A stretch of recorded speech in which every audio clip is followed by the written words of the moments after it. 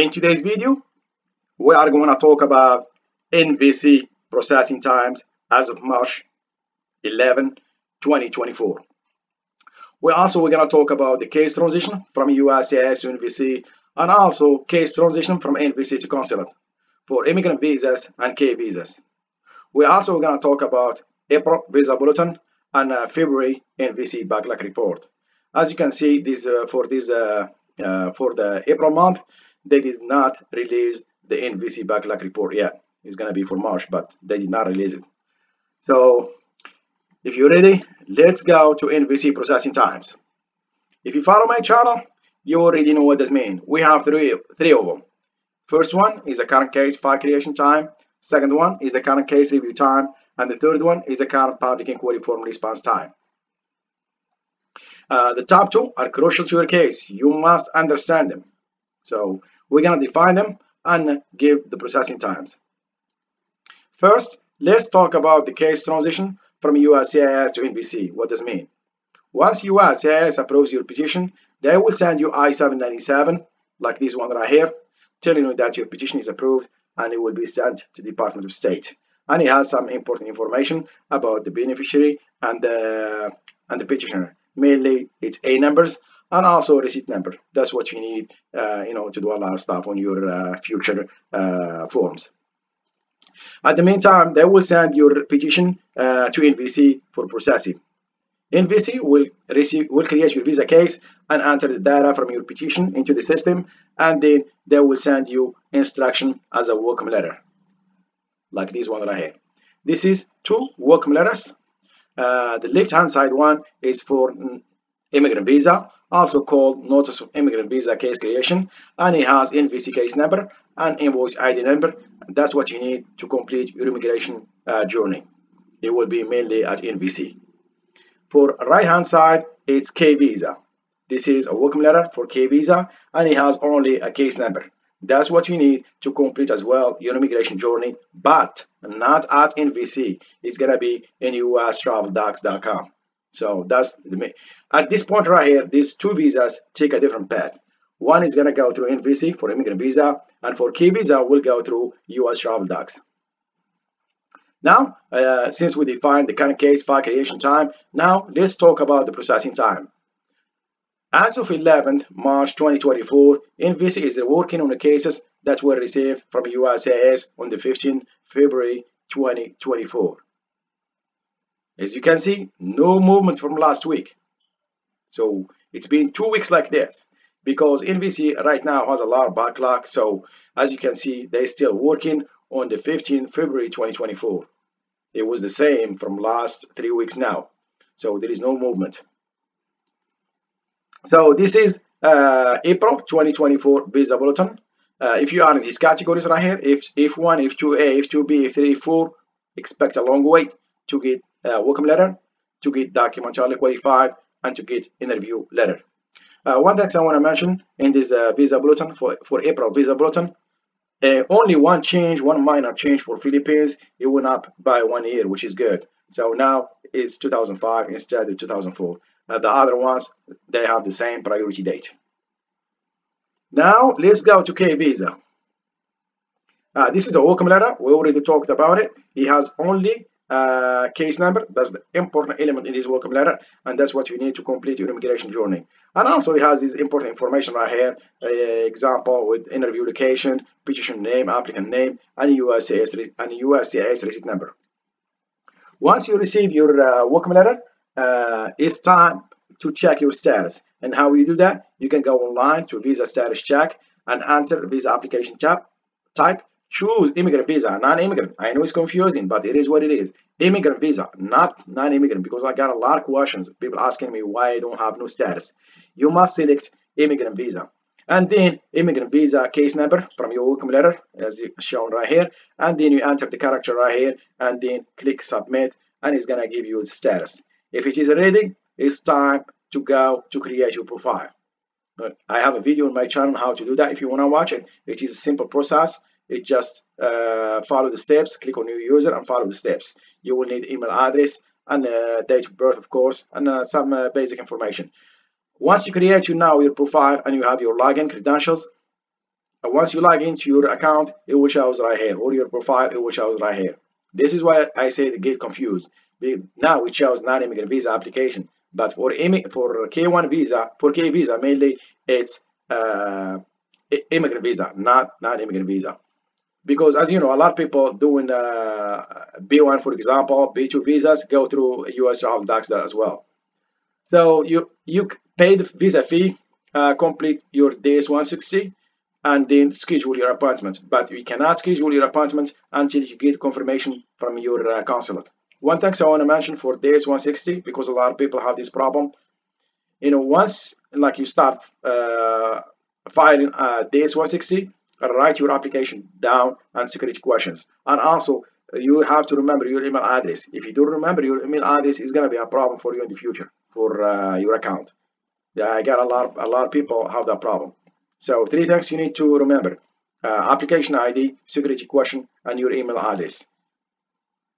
Now let's switch to immigrant visas, CR and IR. Uh, this is immigrant visa uh, for, uh, this is a welcome letter for immigrant visa.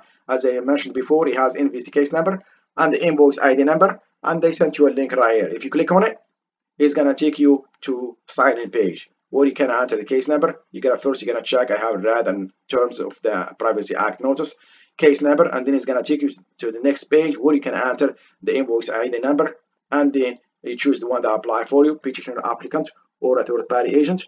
Then you enter the character shown above and then click on continue and it's gonna take you to the main page of NVC uh, account, your account right here. Make sure this information right here is correct because it comes from your petition. If you see something right here, correct it right away. Send an inquiry to NVC. For example, if you see your uh, uh, foreign country where we have interview is uh, different than the one you submitted to USCIS, send an inquiry to NVC right away to, to correct it.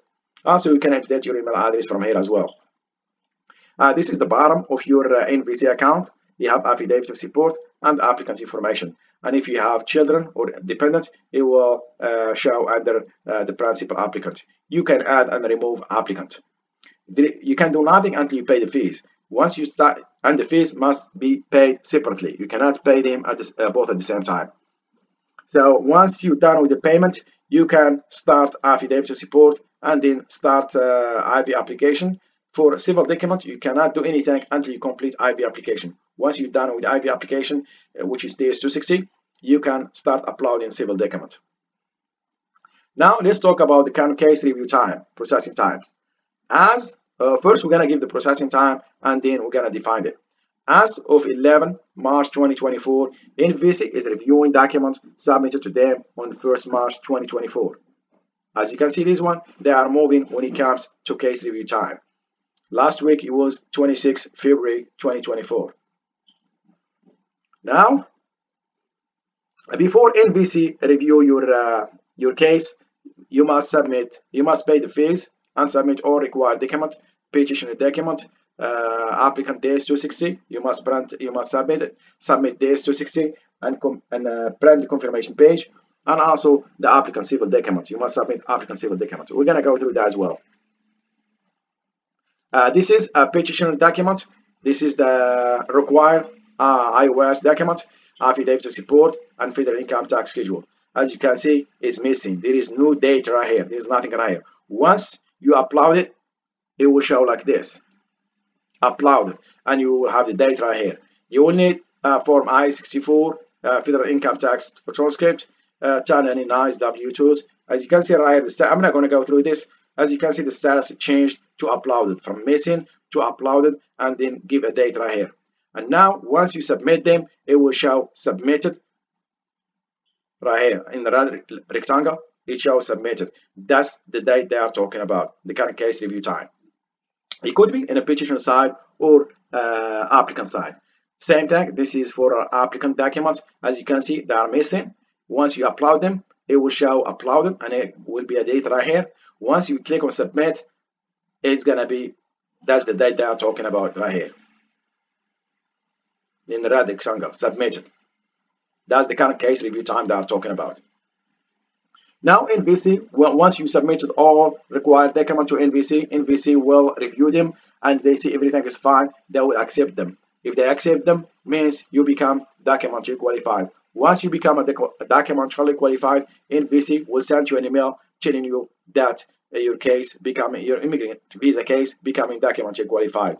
So from this point right here that's a case transition from NVC to consulate NVC will work with your consulate in your country to schedule interview for you. That's a case transition from NVC to consulate. Once they do that, they will uh, they have a slot for you. They will send you interview visa appointment letter telling you that they schedule interview for you. They will have a time, date, and the location where you will have interview. Uh, this is uh, February uh, NVC immigrant visa backlog report. I just I want to show you how many documentary uh, completed cases. Sitting at NVC as of 30 as of January 31st is 380,407 and they scheduled 42,151 uh, interviews for February 2024 and you see the backlog right here went up a lot uh, during uh, uh, February. So now if you check the status once they complete once they uh, send you a welcome letter if you check the status at your uh, NVC account it will show the status will change at Casablanca. Uh, it's going to be a city in your country where you have interview. And if you check the status online, it will show it's ready, means ready for interview. Now let's go to the last uh, NVC processing time, which is the current public inquiry form response time. As of today, 11th March 2024, they are responding to inquiries received on the 6th March 2024. NVC is doing good on this one because NVC knows uh, people have a lot of questions, so they respond really quick.